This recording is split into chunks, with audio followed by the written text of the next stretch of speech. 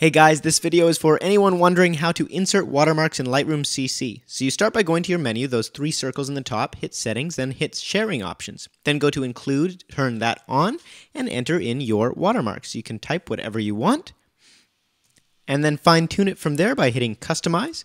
And you can set things like the offset, the size of the text, the opacity of your watermark. You can make it bold or italic, whatever you like. Obviously, you can't insert your own custom logo, but this is an easy way to add the text at least.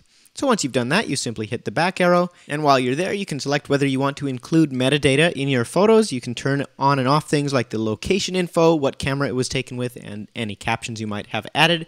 Go back, find a photo that you want to save out with your watermark, click the little export icon and save out your photo.